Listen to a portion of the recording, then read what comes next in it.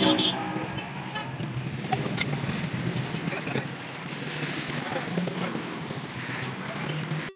वालेकुम गाइस, आज हम मौजूद हैं इधर अमीन मॉल वाला में कुछ क्रॉसिंग के लिए आए थे, लेकिन इधर एक गोला बनता देखा तो सोचा क्यों ना वीडियो आपके साथ शेयर की जाए।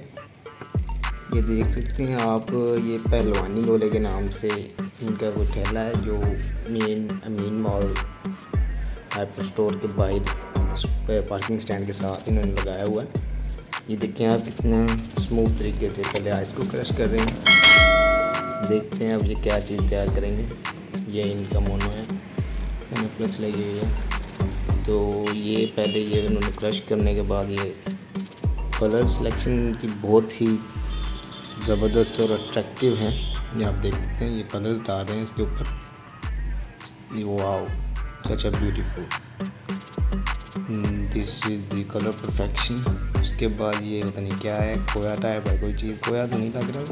शीरा सा इसके बाद, ये इसके ऊपर इन्होंने डाला है वो तुखम मलंगा जो होती है, वो डाला है इसके ऊपर।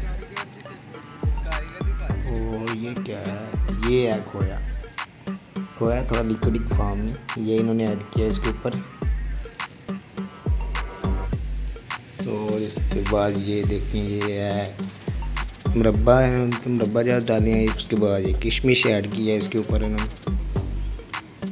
किशमिश के बाद ये देखें, ये दीदार दी आलमंड कि वो डाला है उन्होंने बादाम क्रस्ट फॉर्म में।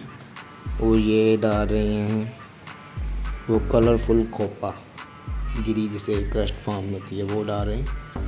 और लीजिए, ये हो गया तैयार गोला। बहुत ही परफेक्ट शेप आई है इसकी।